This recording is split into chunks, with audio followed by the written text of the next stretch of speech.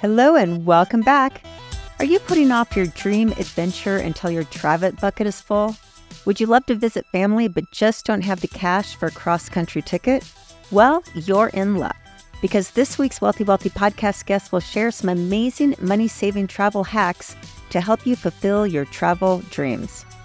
Eli Facenda, otherwise known as Eli the Travel Guy, joins me to share some cost saving travel hacks that will get you where you want to go by only using your credit card points. Eli founded Freedom Travel Systems to help people just like you quench their thirst for adventure. I can't even believe how much I learned from interviewing Eli. This episode is money.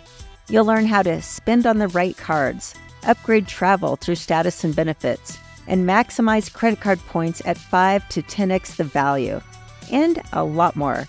So grab your suitcase and some sunblock, maybe your skis and goggles, and get ready to travel to the four corners of the globe by listening to this episode.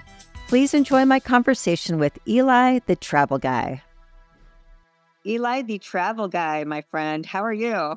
I am doing phenomenal, and I'm really excited to be here with you, Krisstina. Well, I'm so excited to be here with you too for a number of reasons. We were introduced through our mutual friend Charles Bird. Is that correct? Is that who introduced us? Yeah, it was Charles. Yeah. And then we had a mutual connection, Peter Sage. And so anyway, we have some history without really even knowing it. And it's great to to reconnect here. And Charles always puts me in touch with like the, I don't know if he does the same for you, but just the perfect matches. It's like it's his genius, it's his magic. I'm like, Charles, how do you do that? But anyway, he said, Krisstina, you know, you're the whole money thing. And Eli, he's got a different spin on money, and it's through travel and points. And I'm like, oh my God, I need an introduction because that points thing is something I've never figured out. And I know there's some hacks to it, but yes, please put me in touch. And here we are. So today we're going to talk about travel hacking and points hacking. But before we do that, tell us some story, even some stuff I don't know, a little bit about the Eli story, where you grew up, what inspired you, and really what brought us today where you're an expert in this specific category of what I call money. Totally, yeah. And uh and Charles is like magical when it comes to making crazy connections. So so grateful that he did. Um, because knowing you has been also just a a really amazing way for me to level up in my life in other areas of finance that I haven't mastered, which there's plenty. Um, and so when it does come to the, the the credit card piece, you know, I was not ever really fascinated with credit cards. I was really fascinated with travel, and that started when I was actually about 17 years old. I grew up outside of the uh, the DC area in Northern Virginia, and I was actually invited to go play on an international baseball trip where we were going down the Dominican Republic, and um, you know, we were representing the USA, and I was going to go compete and play against kids from the DR. And I remember being on this trip, and it was a family vacation meets kind of baseball tournament type thing. And I remember being uh, out in left field, and I'm 17 years old. I hadn't really traveled at all yet. I mean, maybe you know some domestic trips here and there, but I remember looking across the field while we're in the middle of this game, and I'm looking at these kids in the other dugout, and they had like in terms of possessions, you know, wealth, uh, you know, the kind of typical things that we pursue here in the U.S. They had like nothing. Like they literally, a lot of them were using each other's cleats when they would come in and out the field because they they didn't have their own, right? They had like one bat for the whole team. Yet I looked into their dugout. They're laughing, they're smiling, they're having so much fun. They're playing with passion. The fans are dancing. There's like naked kids running around the dugout, and it's like, and I looked in our dugout, and here we were with like our $500 baseball bat, fancy gloves, all this stuff, and I was like, wait, they're having way more fun than us. Yet they don't really have anything in terms of like monetary wealth or possessions. Like in my brain that at 17 that didn't really make sense like the whole idea that you know uh, possessions and, and, and money doesn't necessarily mean that you're going to have a great happy life was mind-blowing to me and so the whole point of that is i got hooked by just like wow if that's what's going on here like what else is going on in the world so i got obsessed with travel ended up going to study abroad and that kind of unfolded into this addiction for travel and when i graduated from school i got kind of into the entrepreneurial path and i didn't have a lot of money and one of the the quotes I'd heard was from our mutual friend and, and a mentor of mine at the time, Peter Sage, who said, You don't need money, you need a better strategy. And I was like, Ah, I had heard about credit card points. This is it.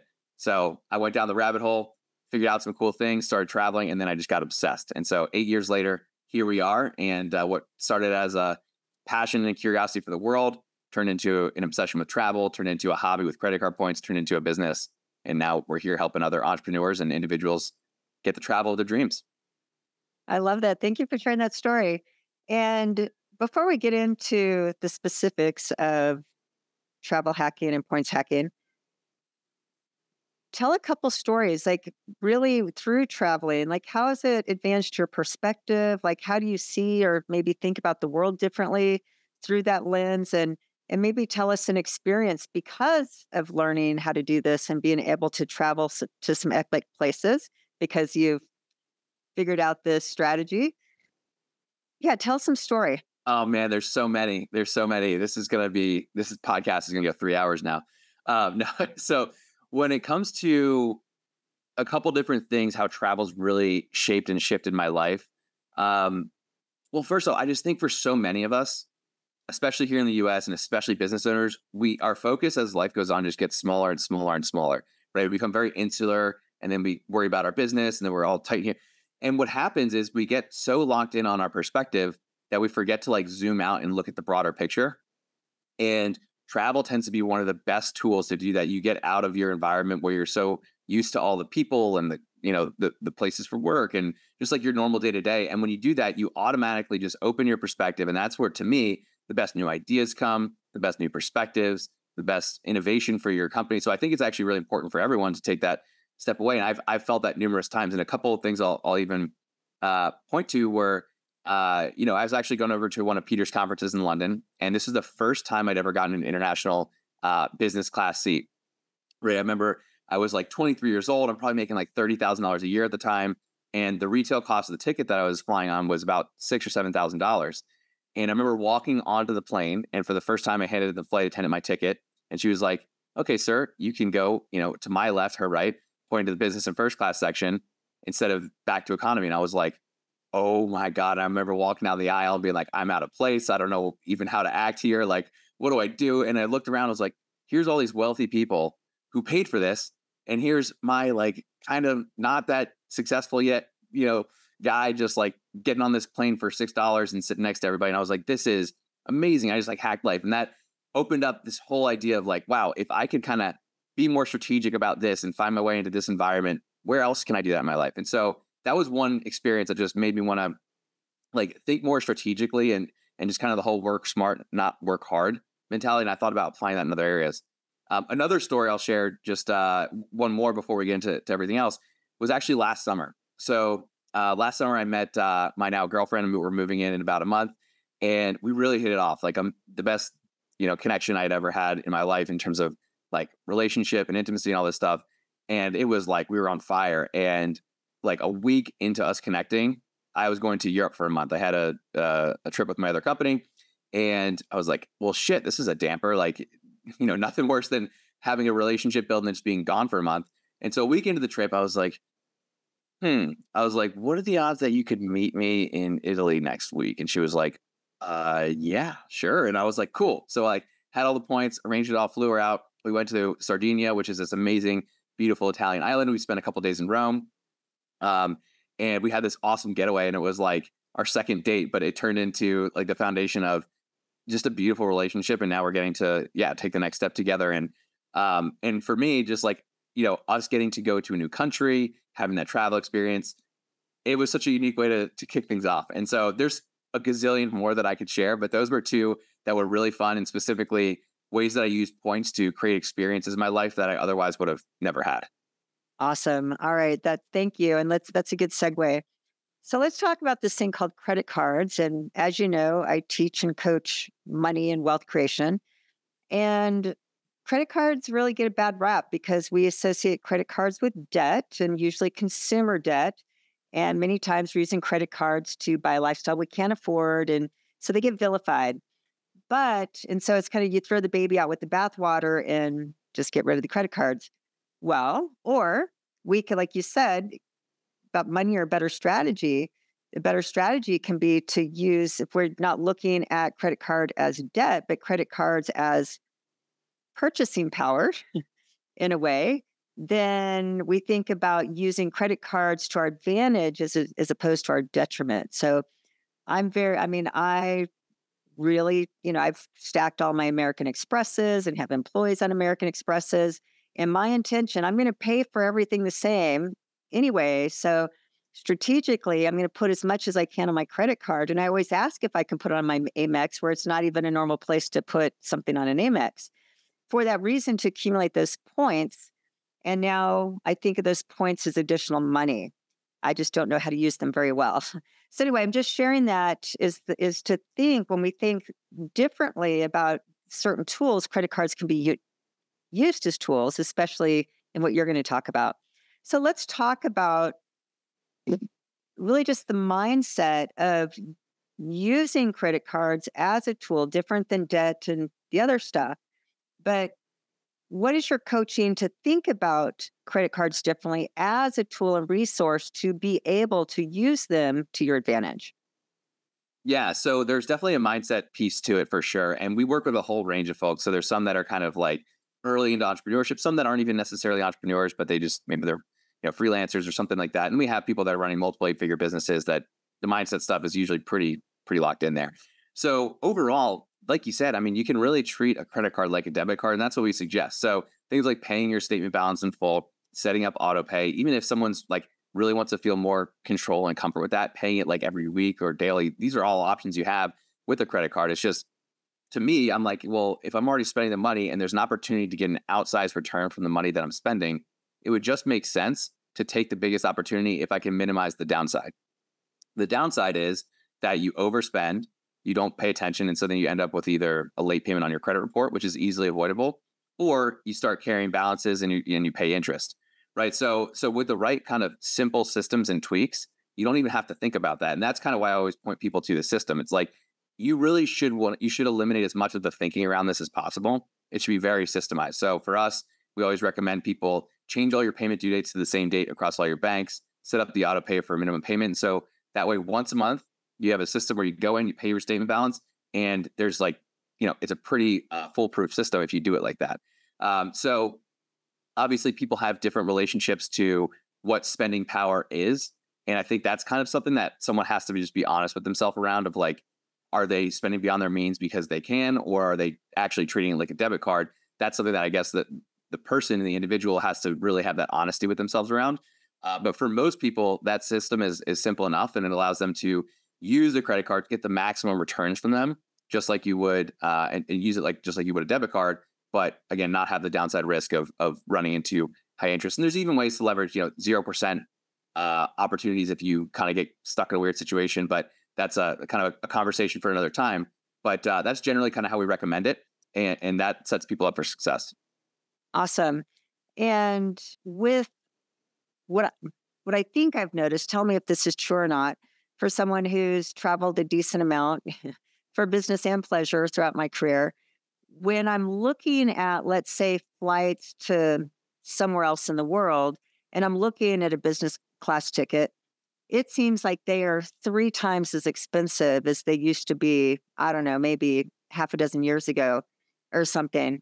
And I'm just shocked at like, oh my God, like it's $10,000 for a business class ticket to London or something close to that. So my question number one, have business class, first class tickets, have they it really increased in price over the last several years? So not having like specifically studied that myself and having like data to go off of, I can't really speak 100% on, on like factual trends in the industry. But what I can say is is seemingly certain routes particularly have skyrocketed a lot. And and that that's the interesting thing is because like I live in Austin, right? And a common route to go to Europe, there's only three major airports you can fly into directly into Europe from Austin. London is one of them. Oftentimes, the route between Austin to London, you might see tickets at like eight to 10K, but you could probably hop to Dallas or Houston and fly into call it Amsterdam, Paris, something like that for maybe like three to 4K.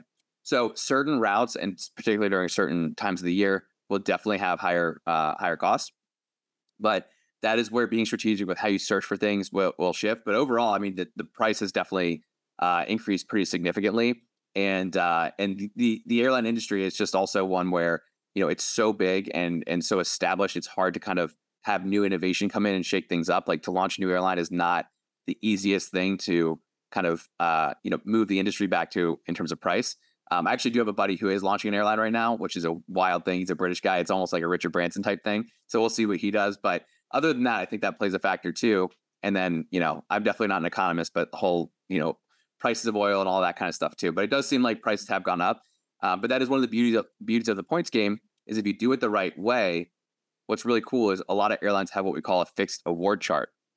So it doesn't matter if the price doubles or not because they have a certain number of miles that they will charge you to fly from region A to region B. So East Coast to Europe is always either like 70,000 miles or 60,000 miles or whatever it may be for that airline. So the price may go up double, but the number of points required doesn't change. And that's actually how we get this whole kind of points arbitrage opportunity.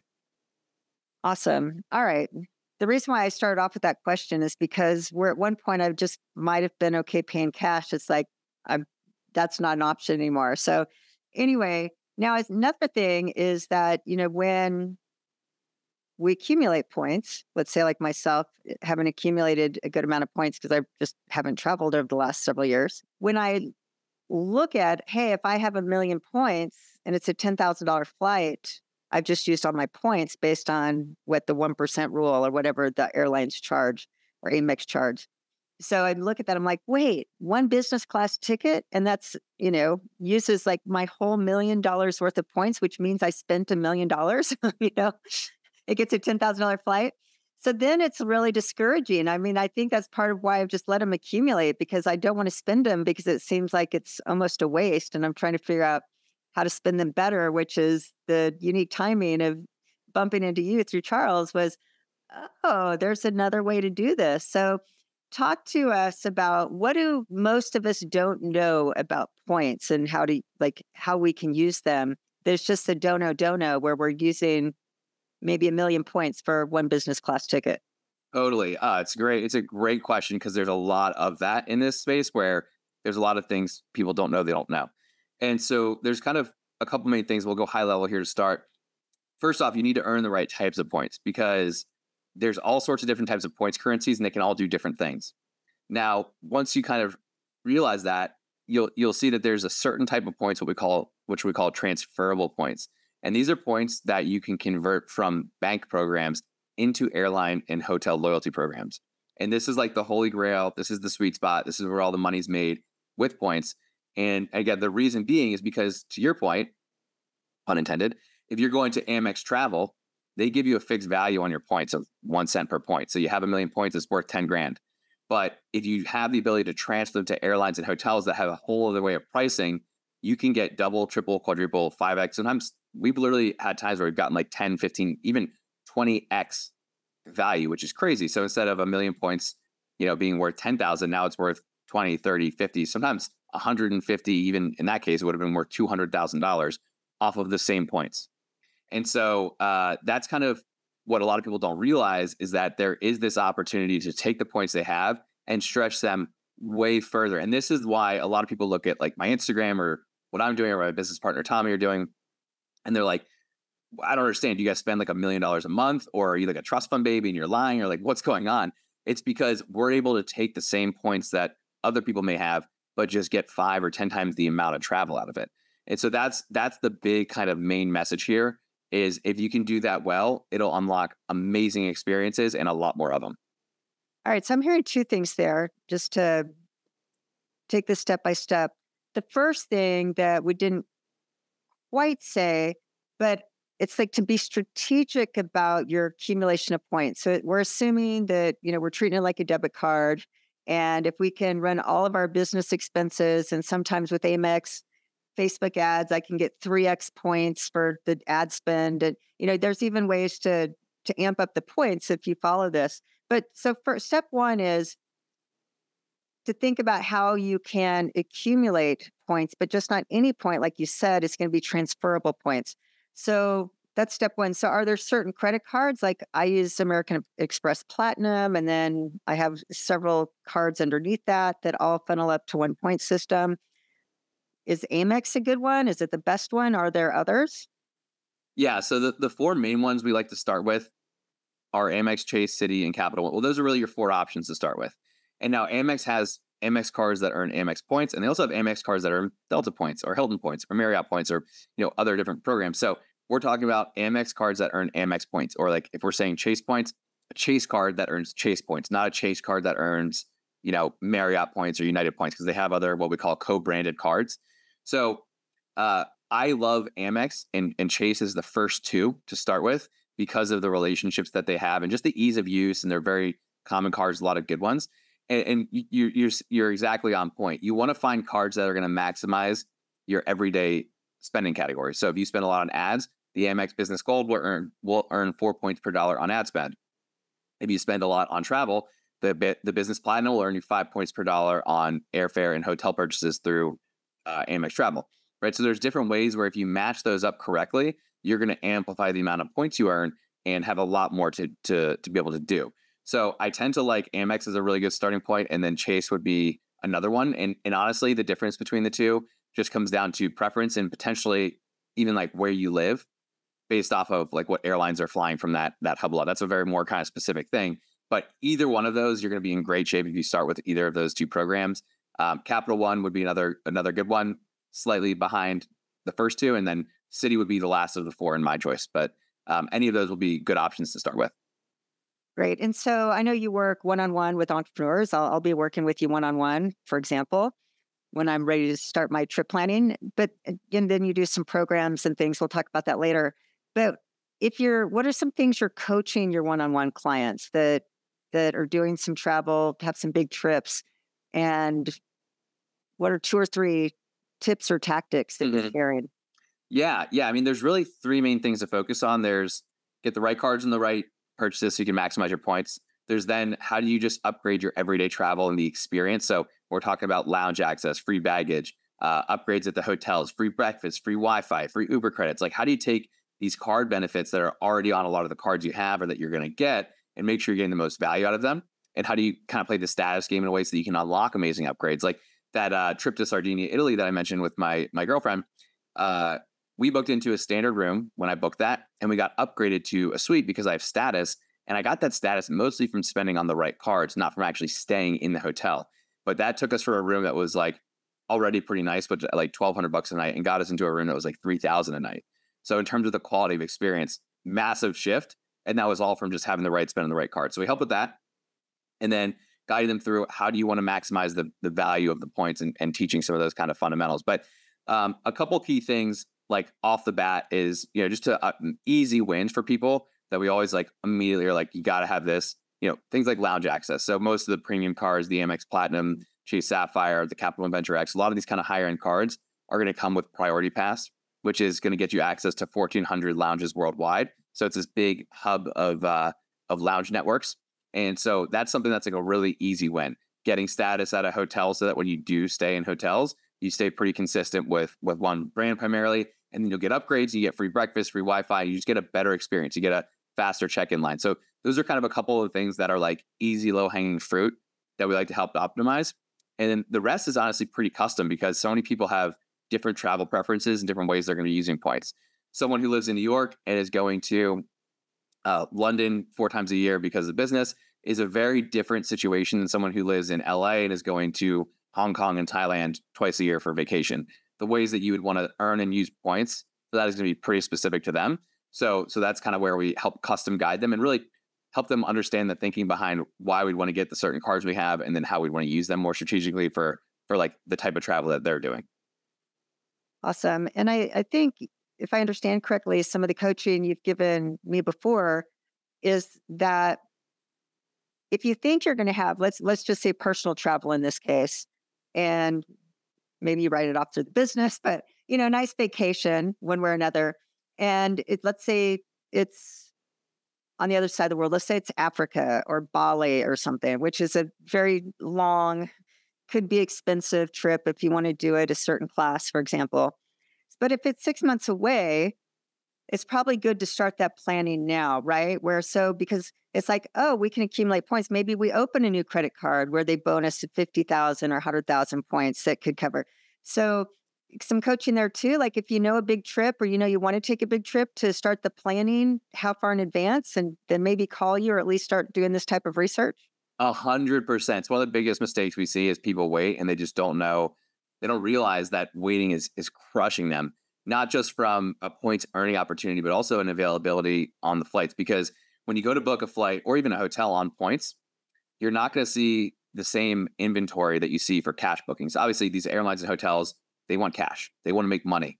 And so if they're not going to sell in cash, there's a certain percentage of the plane that they call award availability.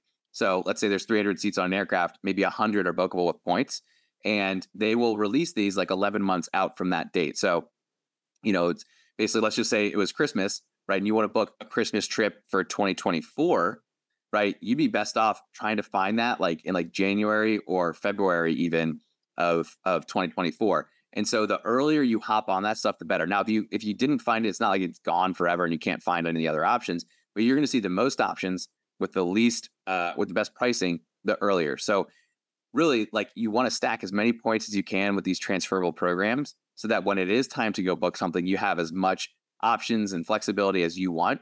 Otherwise, you have to either start to, you know, make some decisions around like, okay, do we want to maybe go out of our way a little bit to get a better deal, or do we want to pay a little more? Sometimes you can strike gold, but you're increasing your odds by doing it earlier. So waiting to do this is a big mistake. We hear a lot of people that we talk to like, oh, well, I'm not traveling the next two months, so I'll do this later. And it's like, wait, I mean, you could wait, but like you're just hurting yourself here. So if you're already spending the money, which is the hardest part of this whole process, it's like it makes sense to optimize it now because you're going to continue to spend over the next however many months before you actually get to the point of booking. Got it. Awesome. All right. So let's talk a little bit of the hacking. We've talked about step one, which is just to be strategic with your points and to start really thinking about how you spend on credit cards and which credit cards so that you can accumulate as many points as possible. And I know something you've mentioned before that there's an app to use where it's easier to keep track of this, which I think this is another, again, the dono dono, because I know I leave so much money on the table because of my credit cards that I have. I get, I know one airline, I or one credit card slash airline, I get a hundred dollars worth of something something another one pays for my clear and another one does this but i can't remember and then they i end up paying for these things is what i'm mm-hmm. saying i'm not taking advantage of these so yeah. how do you keep track of all these different benefits yeah there is a great app called CardPointers which will help organize basically load your card in and it will just tell you all the benefits that come with that card and then as you use them you can just kind of like check them off or you know if it's like a $200 credit and use $100 of it you can like there's like a sliding toolbar that you can use to just track how much you've actually used because that is um, a part of this process where it kind of becomes a pain for a lot of people, specifically, you know, busy entrepreneurs, people that are like really high value on their time. They're like, I don't want to be tracking all this stuff. Like, I need to grow my business or I need to, you know, build my real estate portfolio, whatever it is. But um, at the same time, it feels kind of silly leaving money on the table, right? I don't care who you are. So an app like that helps you stay really organized and see everything in, in one clear kind of snapshot on the card side. And then even on the point side, there's another app called AwardWallet, which is a great one, and, one called TripIt Pro, where it, it will sync in all your points from all these different accounts into one spot too. So the more you can simplify things and use the technology that's out there, the easier all of this becomes. And then you can you can have this whole system down without having it kind of take as much time. But CardPointers is the one definitely that you're talking about. And uh, and one of the things we'll also uh, help clients kind of work through or figure out is like, okay, if you have three cards that have a $500 annual fee and all three of them come with priority pass, maybe you want to downgrade one of those cards or two of those cards so that you're not paying $1500 in credit card fees and you're paying just 500 and you're still getting the same benefits. So sometimes people have too many high-end cards or, or maybe not enough and they need to kind of balance it better so they get the right benefits for them but they don't start getting all these overlapping things that they can't continue to use as well. Got it. All right so strategic with points how to keep track of these things and now let's talk about some of the I'm just lack of better words, the hacking. And I think the transferable. So we've said we want to make sure we have transferable cards. What do you mean by that? So what's an example of a card that you can transfer points and one like Amex where you can? Mm-hmm. And what do you mean then by transferring points to who, what, where, and why? Yeah. So so think of them as currencies, not necessarily just cards. So with Amex, they have cards that earn the Amex currency or cards that earn like the Delta or Marriott currency. And so we're talking about earning that right currency. And when you have that pool of points with American Express, because of their relationships, they allow you to convert those points into the airline miles or hotel points. And so you'll go into Amex Travel, there's going to be a section that says transfer points to partners. And then you'll find that and you'll see the whole list of partners. And now, basically, to do that, you need to have just like a loyalty account set up with that airline or hotel. You punch the loyalty number in, say how many points you want to transfer over. You hit send, and then basically it's like transferring money between bank accounts. It's the same idea. you'll just go to your your new account or whatever the airline account is, and you'll see the points in there. And so, what you want to make sure to do is uh, find the actual seat or or hotel room first before you transfer them over, because once you transfer them to an airline or hotel, you can't transfer them back, mm. right? So that's that's important to know. Now, again, there's only four main points currencies with like the major banks that can have this that do have this feature and can be transferred out. And that's Chase, Citi, Amex, and Capital One. So if you're earning any other points currency like PNC, US Bank, Wells Fargo, Bank of America, any of those, you're not going to be able to do what I'm talking about. You can still redeem those for travel through what's called like their travel portal, but you're not getting good value on that. You're not going to have this opportunity to get double, triple, quadruple, or like five to 10x the value on it. You, you, you get that kind of fixed value of one cent for each point. Okay. So that's some of the differences there. Now, a lot of people have cards where they're earning like Southwest points on a Southwest card that might be issued by Chase. And that's not necessarily terrible, but the, the limitation there is if you want to go to London, Southwest doesn't fly to London and you can't transfer those points or book with partners or anything with Southwest. So you're kind of stuck, right? So that's why it's better to have the transferable points because Chase, for example, partners with Southwest. So if you had Chase points instead, when you want to fly Southwest, you could just convert them at a one to one ratio and have those points appear in Southwest. Or if you wanted to fly United to London, you could convert your Chase points into United and book that ticket. So it gives you a lot more flexibility and options, which is where uh, part of the value is created from. Got it. Awesome. And you say Southwest, and I know a lot of people, I mean, they just love Southwest Airlines and and you know they're not big international travels travelers maybe they go to mexico they like cancun costa rica maybe hawaii so that would be their the their trips. So any tips on for those that are really diehard southwest flyers? Totally yeah and southwest is probably the most polarizing airline. It's like people either will like they love it or they hate it right? And uh, like they don't have a business class right? They're they're very efficient with like their gate time and actually just from a business standpoint fascinating to study them as a business and how they operate the way they do. But uh, yeah, one of the best Southwest tips is to get the companion pass. And so there's a way to do this is a awesome gem, and this is probably going to be for a certain few people, but for those who it hits for, it's going to be like a game changer. So for this one, um, all you need to do is earn 125,000 Southwest points in a single calendar year. Now you can't earn those through transfer; and they have to be like properly earned through either credit card spend or travel. And when you earn 125,000 points, you can then get a companion pass, which means you can add a person to fly with you for free for the remainder of that calendar year and the whole next year. So one of the things I always kind of tell people is like, if you're in a Southwest hub and you like flying Southwest, that and you have a partner, this is like the hack to get one person flying free for four years because you would get it maybe in January. You get the rest of that calendar year and the whole next year. And then at the end of that next year, you'd flip it and they would get the companion pass and then add you back for two years. So there's ways to use Southwest cards where if you just hit the bonuses in the right way, you're going to earn 125,000 points just from opening the cards where you don't even really have to spend much or, or travel a lot. Um, and that's the fastest way to get this. And then, you know, getting one person flying free for four years. They do have routes to Hawaii now, uh, all over the US, some of the Caribbean and Central America. You got a lot of decent options there. But particularly for domestic flyers and particularly for people that are uh, near Southwest hubs, it's a it's a total game changer. Awesome. All right, so let's go back to some international travel. When you say transfer points, and so I get it now. I mean, I understand that I can go from my Amex and I can transfer my points over to American Airlines, for example. But then, is it not still one to one there, or like one cent that I'm just buying my Amex, my you know on American now? They're offering the same thing. And so it's uses the same points if I just bought it directly through American Express.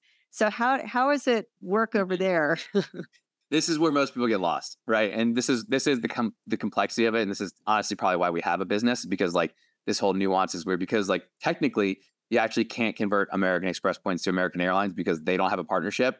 But Amex does partner with British Airways, which is also partners with American. So if I wanted to fly, it's actually a great strategy. But I wanted to fly American Airlines flights using Amex points, I have two options. I can either go through Amex Travel, or I can convert my points to British Airways or mainly British Airways to book that, and that's how I would do it because I can't do that con- direct conversion.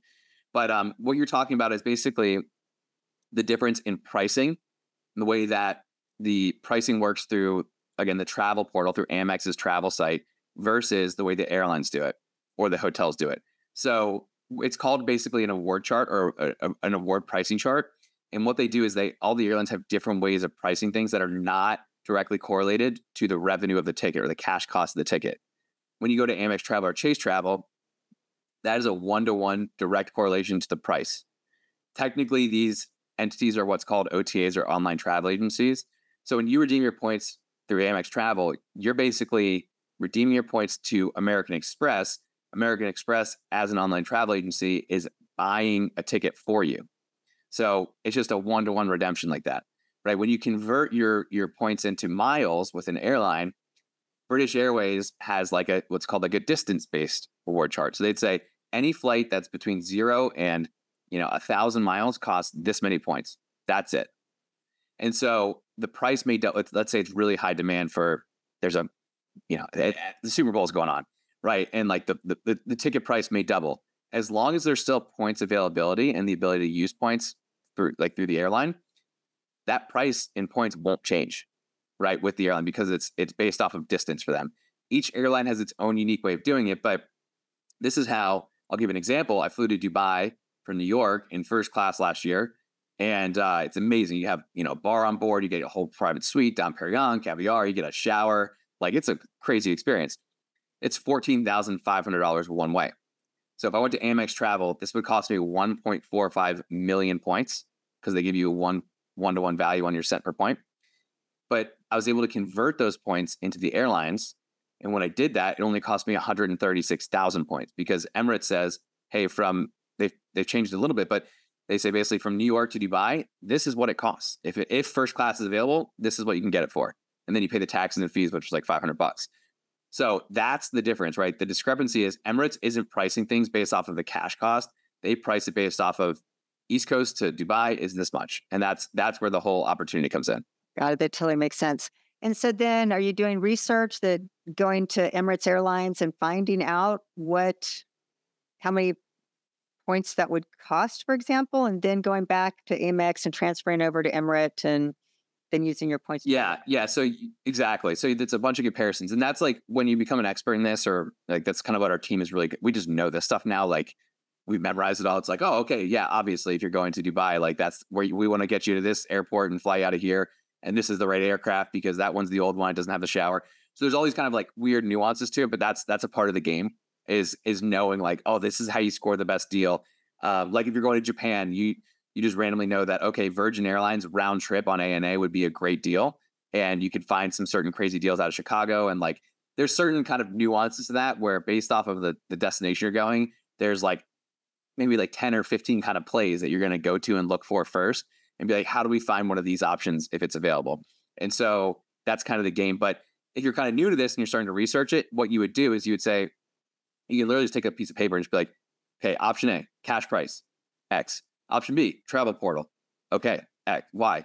And then you go option C, if I can convert to an airline, what do I find there? What's the best deal I can find there? You compare the three and then you make your decision on, on which flight you want to take. But if you don't know which airlines to search and which kind of airports to use, that's where can, people can get kind of confused. Um, so that's why having some guidance on that is helpful. But that's that's really how it actually works. Awesome. All right. Well, thank you. I think I've got a much clearer picture now, and it's just such a game changer. Like again, I mean, this could be worth two, three, four, five hundred thousand dollars. It's no joke. So thank you.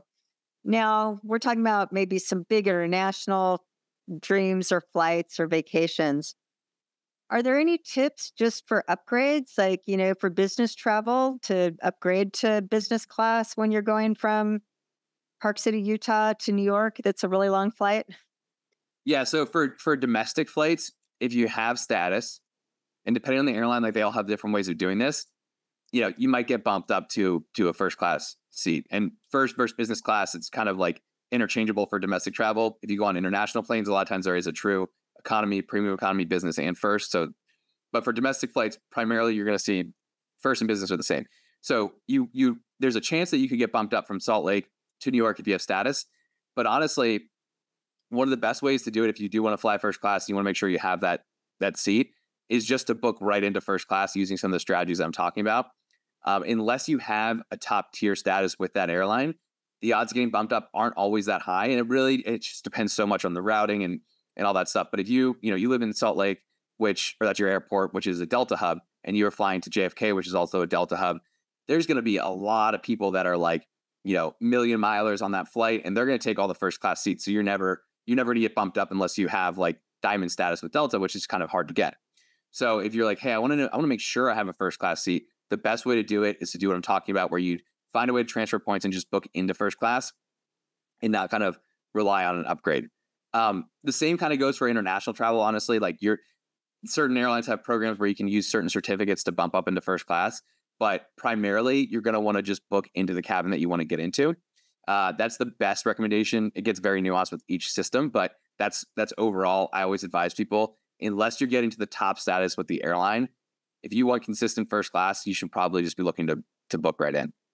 Got it. That makes me think is there anything, does it make any sense, especially if you're, again, if you're going to do international travel, is to buy an economy ticket and then just use points to upgrade? You can, you can do that. And that's a good play uh, specifically for like people that maybe you're speaking at an event and they're like, hey, we'll pay for, pay for a ticket, but we can't pay for first. Or, you know, it's a business event or you're a consultant or whatever it is where someone else is paying for your, your economy ticket. There can be some good options to take that ticket and then apply points for an upgrade or something of that nature. Sometimes there's credit, there's certain types of credits you can apply uh, so that can that can work, but it's just it's a little bit less reliable because someone like the first class cabin can just get booked by other people, and then you're not gonna get upgraded right because there's no inventory left. So that's why I always say like if you really want the seat, just go ahead and and book it in. Um, otherwise, yeah, you can use economy tickets and, and then use points to upgrade. Um, if you're going overseas, you're really typically only going to be able to upgrade one one cabin though. So like if you book an economy ticket and you're going to London, you know, you're going to be able to upgrade to premium typically. You're not going to be able to jump all the way into like business or first class. Awesome. Well, thank you. Is there anything I've been asked that you think is important to share with everybody listening? I think we covered a lot of really good stuff. I think that piece on status is important for people because what I see a lot of that I would advise away from is, and this is, I mean, it's geniusly designed by the airline and hotel program. The whole status, like the the loyalty program, is just an art form of of creating consumer loyalty and and really creating yeah, lifelong loyalty with a lot of customers. Um, but a lot of people go for status when they probably shouldn't. And, and the reason for that is, in my opinion, you're specifically with airlines, you're really not going to again see a lot of the, the the worthwhile experiences and benefits until you start to get to some of the top tier statuses. And those are oftentimes really difficult to get to unless you travel a ton or you spend a ton. So a lot of people are going to be like, oh, I like Delta. So they always fly Delta, when there was a cheaper indirect option on American. And so now they just took a longer flight and they paid more. And the payoff for that long term isn't even that much because they're not really going to get consistent upgrades and stuff from that. So I'm not a big fan of going for status with airlines, particularly unless you're going to get towards the top. There's certain qualifications. On the hotel side, it's a little bit different because it's easier to get and and uh, you don't really have to do that much different to get it. So that's just one thing I always like to caution people on is like thinking about that uh, that piece of the game too when we're talking about hotels, do you have a favorite hotel chain that is best for points and upgrades and that you prefer to choose them if you have the opportunity? Totally. Yeah. I mean, there's there's really three major brands here. There's Hilton, Hyatt, and and uh, Marriott. IHG also is like a decent points option, but really the main three are are going to be those. And I'm a Hyatt. I love Hyatt. Um, I think that their experience at most of their hotels is amazing. Um, they have a really cool collection of unique hotels called the SLH Small Luxury Hotel Collection. So really cool boutique experiences, particularly in Europe. Um, but the main thing is their the value on their points is much higher. So like Hilton and Marriott have inflated their their system. So the value on the points is way less. So for example, you may see a room that costs five hundred dollars, right? With Hyatt points, it might cost you like twenty thousand points. With Marriott points, it might cost you like, you know, eighty thousand or something like that. And so if you're transferring chase points at a one to one ratio, you only transfer 20,000 points to Hyatt to get a $500 hotel. Whereas if you were going to go to Marriott, you might have to transfer 80,000. So it's like the trade off is significant there. Um, so I love them for that. I think their their experience is awesome. And plus the way you can get status there is, is great too. So I'm a big Hyatt guy, but everyone has different reasons for liking different brands. Marriott has the biggest global footprint. So if you're like a frequent business traveler, that's like, I just want to always know them and have a hotel in the best location. Marriott may be your move because there's some places where there's not a lot of Hyatt options. So you have different reasons for different hotels. Awesome. All right. Well, Eli, thank you so much. And like I said, I feel I feel richer just by having this conversation. That's the goal. That's the goal. Awesome. Awesome. All right, we're going to wrap up a few questions and then let everybody know how to find you. First question is say, Krisstina, if you really, really, really, really knew me, you would know that. What's something that most people know about you? Hmm. You'd probably know what my favorite quote is because I say this probably an obnoxious amount to people that are around me. And it's don't ask what the world needs, ask what makes you come alive because what the world needs is more people who have come alive. So that's been like a North Star for me. And that's also been, I think, a lot of why I got into travel because, you know, I was running a tour company for a while and just like seeing people go on these experiences and go overseas and seeing the world. It's like you just see the light come on in their eyes. And it's it's like so awesome to be a part of that experience. And so that's probably one thing you would uh you would know about me. Yeah, I love that. And you know, you just bring up such a good point there as well as, you know, again, just talking about it in points, that this opens up maybe an experience that might not otherwise have felt available. And so taking advantage of this might open up a new experience. So, oh, oh yeah, I mean, more alive. Totally, and that's a huge piece because it's funny. Even when we work with like eight-figure business owners, they have the money to do this a lot of times. But even for that, even if you're taking home multiple seven figures a year, to spend fifteen thousand dollars on a one-way ticket to Dubai, it just seems kind of ridiculous, right? You, you know, there's some people who don't care, but most people are like, oh, there still is like twinge. But it's like, hey, you can use points and then you can take your family to Dubai and have this crazy experience and go to the Maldives. And now you have an experience that you're never going to forget. That's going to pay dividends in terms of your your satisfaction, your fulfillment. I'm like, I'm all in on that. And so sometimes we're just using this as a way to justify doing the things that that people already wanted to do, but they just couldn't find the reason to give themselves permission to do it. Yeah, and I'd put myself in that category. So thank you. totally. Let's talk about what I call a humble brag. What's something that you're personally proud of? You know, we all have our bios and our resumes and our accomplishments and and all of that that's very public. But what's something you're personally proud of? So in nine years of of being involved in running companies, I've only ever lost an employee like who left without me like letting them go one time and uh, that's something I'm very very proud of. I love having a good team and really supporting people in a way that that there's like a lot of mutual respect and having team members that have your back is like it's awesome. So um, that's something that uh, yeah, I was thinking about that recently. I was like, that's really cool. Having super low turnover in terms of employee and uh, yeah, it's just that's that's one thing I'm definitely proud of. Yeah, well, that's a huge accomplishment. That says a lot about you because that's not easy. All right. So let's do the flip side of that what's something like a failure, like a dark moment, a failure, something where you just thought, oh my God, I totally effed this up. I don't know how I'm going to recover. Maybe I should just give up. You know, whatever that dark, low moment is. But ultimately, you're here and you're doing great and doing just fine. But tell us one of those, one of those tough moments. Yeah, I got quite a few to pick from. Um, uh, one of them would be so we didn't talk much about this, but basically, right out of school, I started helping to build this this international tour company. Got into the travel industry through that. Uh, learned a lot of the credit card points, the stuff that I know through applying it in that in that business. Now we had a we had this awesome business, and it was like doubling every year. 2019, we crushed it. We're we're growing. 2020 comes around, COVID hits. I mean, you know, we went from like almost going to four million in revenue to 150,000 in a year, like just completely. But here was the here was the thing that we we and I made the biggest mistake on is we kind of have these like self-affirming biases sometimes of what we want to happen versus what's actually happening. And it took us a long time to take a look in the mirror of like, oh, this might not go away for a while. This might be a long-term issue. And we may have to like prepare for the storm kind of thing.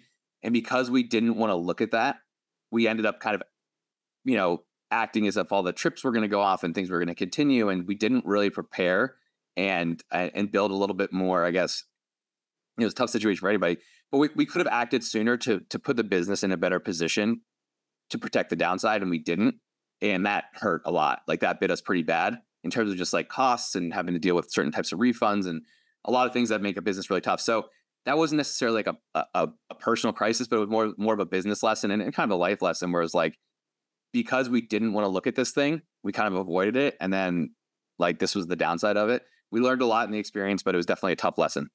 Yeah. Well, I think we're all guilty of that, of, of being too optimistic, maybe, and just um, making decisions accordingly. So thanks for sharing that. Sure. All right, one one final question to wrap us up is to bust a myth. And so, what's something from your point of view, your experience, where you're just going to call it out? Mm. Well, I'm going to go on with specifically for like the credit card points and all that stuff. If you're using cashback cards, you got to get rid of them. If you travel at all, if you travel at all, you got to get rid of your cashback cards. And I'll throw in a bonus, even though you didn't ask. If you're using your points on Amazon, just stop doing that too. So those are the two things that I see a lot of people do, and they they're like, oh, but it's like three percent, and you know, and I get to buy my new vacuum. But it's like you're missing on way more upside and way better experiences if you use the points for travel more effectively. So uh, that's just like specifically to credit card points and, and miles and spending. Those two are definitely things you, you got to stop doing. All righty, like thank you so much. Again, you're just a total wealth of knowledge. And for any of us that accumulate some points and love to travel, you just made us a lot of money. So thank you. Very, very worthwhile hour of, of time. To uh, for everybody that's listening that may want to connect with you, I know there's a couple ways to work with you and your team. So mm-hmm. share with that. And I know your Instagram, but let everybody know how to connect with you. Yeah, yeah. So one of the best ways would be Instagram. That's just going to be at Eli E L I Travel Guy, and you can even, if you want to, and you're interested in learning a little bit more about this stuff, you can shoot me a DM with the word mini. That's M I N I. We have a mini course that's normally 50 bucks. Uh, we'll send it over to you for free. And so that'll be a great way to kind of dip your toes in the water, learning a little bit more of this, seeing some screen shares and like things that we're talking about here more in action. Um, so you can get access to that if you'd like, or ask any questions there, and I'll get back to you on on Instagram. Um, the other way, if you're interested in talking about, hey, you guys have some services, like how do we learn more about that? You can set up a free consult on our website, just freedomtravelsystems.com. Um, really value add. So we'll break down your numbers, show you where you're probably using the wrong cards in the wrong situations, leaving money on the table, stuff like that. Uh, so that'll be just at freedomtravelsystems.com. And uh, yeah, I hope you guys reach out or at least check out the Instagram and engage with some of the fun because it's, it's, pretty cool what you can do. And, and seeing the visuals on it ends up making it a lot more uh, exciting as well. Awesome. Eli, thank you so much. I really appreciate your time and I love these conversations and just you, what I love what you're doing is you're just really sharing all this and making it available to everyone. So thank you. Absolutely. Of course. It was a blast. And thanks for having me on, Krisstina. My pleasure. So that's it for this episode of the Wealthy Wellthy podcast. I hope you enjoyed the conversation as much as I did. But before you go, I want to offer you the opportunity to test your money IQ by taking my two minute money quiz that tests your financial literacy. It's only 10 short questions, but I promise it will make you think. The average score is 33% out of 100. Do you think you can beat that average? But wait, there's more. Beyond just testing your financial IQ, you'll receive a free How Much Is Enough worksheet, which is a step by step guide to help you determine where you are on the financial freedom track. This is the exact work I do with my VIP clients. Take the quiz and let me know how you score. Just go to Krisstina.com forward slash quiz. That's Krisstina with a K and two S's, like kiss. Again, that's Krisstina, K R I S S T I N A dot com forward slash quiz to test your money IQ.